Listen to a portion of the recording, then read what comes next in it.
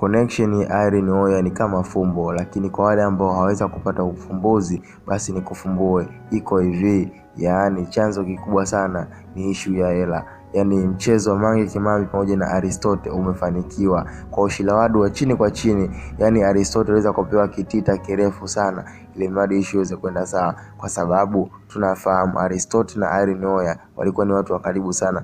Mwisho wa siku wakaja wakagombana kwenye mitandao, akaanza kurushiana vijembe. Kwa wale ambao wanafuatilia kwa kina kabisa, mwisho wa siku Aristote akaona ni heri ajirudi kiunafiki, ili mradi tu aweze kukamilisha ile tukio ambalo huenda alikuwa nalo moyoni la chuki binafsi. Lakini Mange Kimambi kama tunavyozidi kumjua, dada yetu ambaye ananunua video ya aina yoyote, iwe ya msanii au ya kiongozi, ili mradi tu iweze kumdhalilisha, lakini pia na hata mwenye Mange Kimambi aweze kujiingizia pesa maradufu, kwa kuwa tunafahamu kabisa kwamba ni application ambayo yani haifichi wala yani iko moja kwa moja direct kuweza kuleta ule ukweli yani hakuna ambacho kinazidi kufichwa kwenye application ya Mange Kimambi. Kwa hiyo kwa wale ambao wameweza kuziona video kwenye connection za WhatsApp na sehemu mbalimbali, lakini tu video zile pia zinazidi kupatikana kwenye application ya Mange Kimambi. Kwa hiyo kwenye fumbo tu, kwa wale ambao hawakuweza kufumbuliwa, yani issue ni mchongo ambao umezidi kuchezeka mambo ya pesa tu,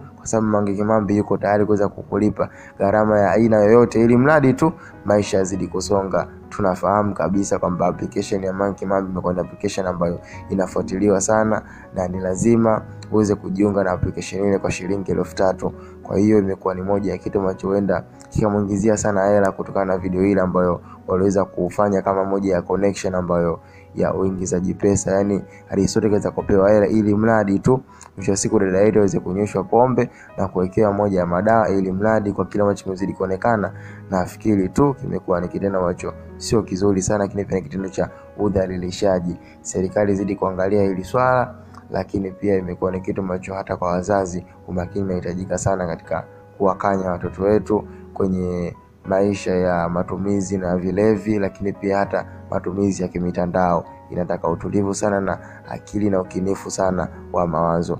Bwana, nisikuchoshe msikilizaji na mfuatiliaji wa channel ya Hatoboy Media. Cha msingi ambacho kufanya ni kusubscribe, kulike na kucomment katika channel ya Hatoboy Media.